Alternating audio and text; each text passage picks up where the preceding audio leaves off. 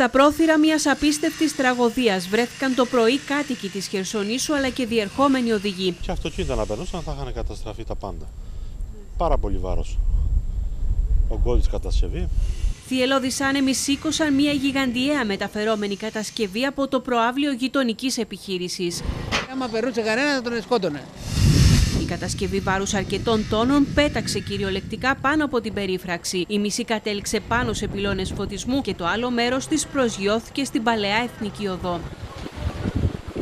Όπως βλέπετε ήταν από μέσα, από εδώ, και τα σήκωσε ο αέρας πάνω από το προστατευτικό που έχει και τα πέταξε όλα στον δρόμο. Ξεπάτωσε και τους στήλους τη ΔΕΗ και του ΟΤΕ ο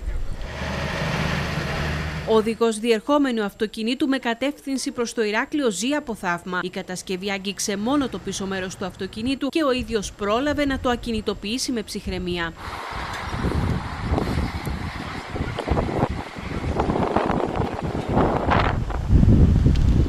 Οι εικόνες που κατέγραψε ο φακός της Κρήτη TV κόβουν την ανάσα. Τη μετακίνηση εντός της εθνικής, της παλαιάς εθνικής οδού προξένησε κάποιες ε, ζημιές, κατάπτωση κολόνας της ΔΕΗ και καλωδίων.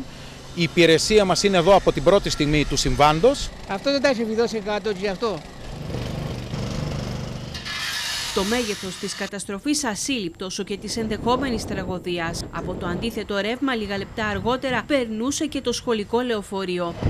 Λίγα σωτήρια δευτερόλεπτα ήταν εκείνα που καθόρισαν το χαρακτήρα του ατυχήματος που συνέβη από μια πραγματική τραγωδία καθώς δευτερόλεπτα αργότερα από το σημείο περνούσαν αυτοκίνητο αλλά και ένα λεωφορείο γεμάτο μαθητές.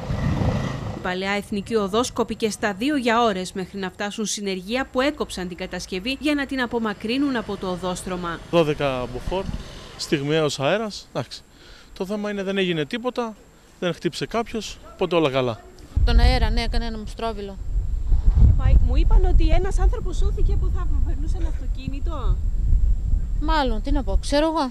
Η Δημοτική Αστυνομία της Χερσονήσου προχώρησε σε εκτροπή της κυκλοφορίας, καταγραφή των ζημιών στον ηλεκτροφωτισμό αλλά και τα πεζοδρόμια, ενώ παρουσία του Δημάρχου ξεκίνησε αυτοψία για τα αίτια του σοβαρού ατυχήματος. Η υπηρεσία μας του Δήμου Χερσονήσου και η τεχνική υπηρεσία θα εξετάσει κατά πόσο αυτές οι κατασκευές είναι ασφαλείς και θα προβούμε στις αναγκαίες ενέργειες προκειμένου να μην ξαναπροκληθεί πρόβλημα. Ξαναλέω άλλη μια φορά ότι αυτές οι κατασκευές κατά 99% δεν είναι αδειοδοτημένες από το Δήμο Χερσονήσου, πιθανό να εμπλέκεται η πολεοδομία. Θα το εξετάσει η υπηρεσία μας. Έχουν καταγραφεί όλα από τη δημοτική μας αστυνομία.